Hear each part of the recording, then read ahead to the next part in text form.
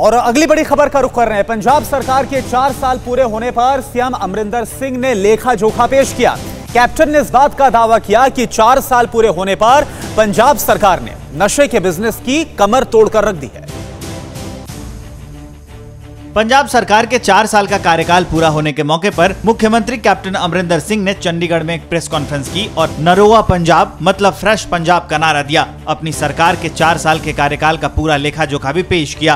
Captain ने कहा है कि कोरोना के दौरान भी उन्होंने पंजाब की इकोनॉमी को संभाला है और अब स्थिति सुधर रही है। रेवेन्यू में लगातार बढ़ोतरी हो रही है। रेत और माइनिंग बिज़नेस में भी सरकार को मुनाफा हो रहा है। किसानों के मुद्दे पर बोलते हुए कैप्टन ने कहा कि पंजाब सरकार ने तीनों केंद्रीय कृषि कानून रद्द किए हैं और किसानों की भलाई के लिए पंजाब सरकार विधानसभा में नए कानून लेकर आई है। विधानसभा में बिल पास होने के बाद पंजाब सरकार ने ये बिल गवर्नर को दे दिया है और अब इन बिलों की मंजूरी का इंतज़ार है। बतौर कैप्टन, अगर केंद्रीय कृषि कानून पास हो जाते तो पंजाब की किसानी बर्बाद हो जाएगी।